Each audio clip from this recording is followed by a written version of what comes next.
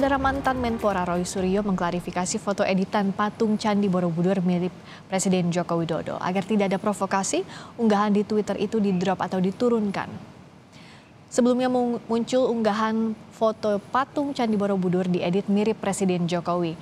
Di akun Twitternya Roy Suryo bilang unggahan itu dilakukan akun Twitter lain. Roy mengaku menyimpan nama pengunggah pertamanya dan agar tidak berkepanjangan Roy menurunkan unggahan foto candi ini dari akun Twitternya.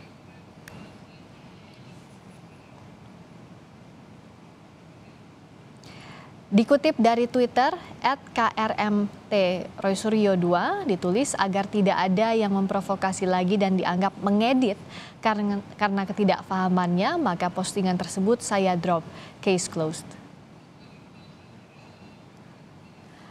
Lewat pesan WhatsApp kepada Kompas TV. Roy Suryo bilang justru itu saya sengaja menampilkan unggahan-unggahan yang sudah ada sebelumnya. Makanya saya posting lengkap dengan nama pemosting pertamanya bukan hanya meme-nya. Jelas kan?